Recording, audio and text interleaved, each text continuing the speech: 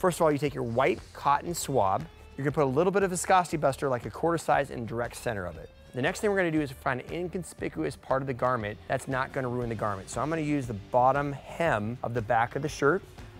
I'm gonna put my white cotton swab right above that fabric. I'm gonna press it at 320 degrees for 30 seconds.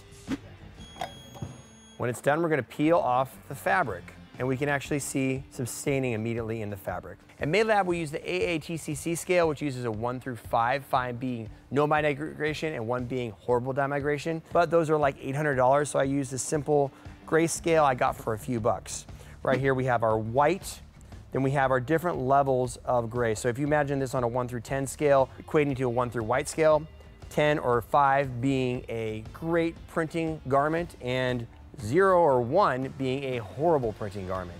You can see that our space black has a little tiny bit of dye migration, but not much. This would probably go as a three and a half or four on the AATCC scale. Counter that with our night sky navy, and you can see that's probably around a two or a two and a half.